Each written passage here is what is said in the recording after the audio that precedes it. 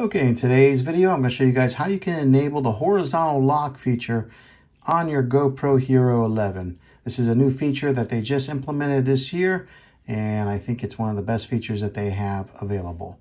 So the first thing that you're going to do is you're on the, the regular screen here. Uh, this is just in the easy settings mode. So we're going to go over to what they call the pro mode. So swipe down. Sorry, swipe down like that. And then you're going to swipe over and that'll bring over the preferences, video mode, and controls. We're going to tap on the controls so that way we're going off of the easy controls.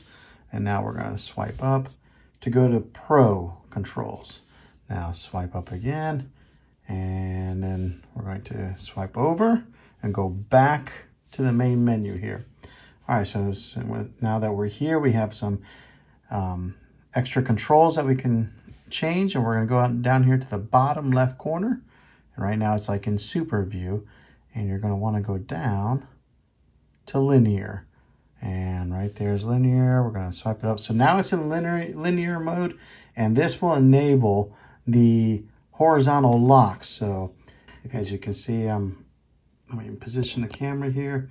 If I take and turn it, it's still locked no matter which way that I turn it horizontal or vertically, it stays locked in on the horizontal. So that's the step-by-step -step process on how you enable the horizontal lock on your GoPro Hero 11.